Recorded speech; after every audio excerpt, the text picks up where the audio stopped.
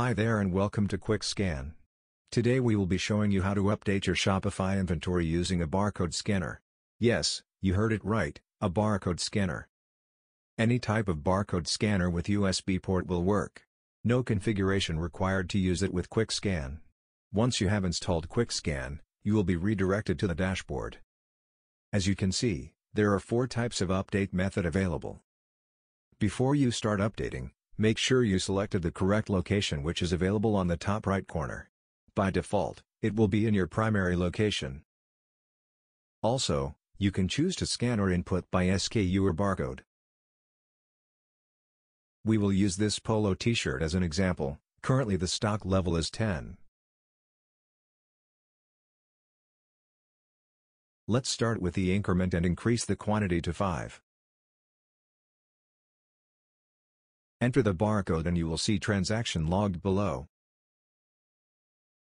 You will be able to see the product info, update action and the new stock level after the update.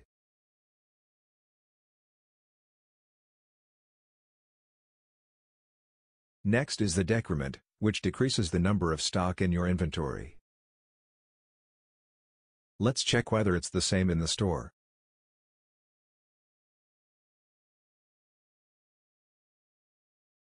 The quantity has decreased according to Quick Scan. Read only allows you to check the stock level. Set quantity is a direct update where the stock level will change to the quantity set.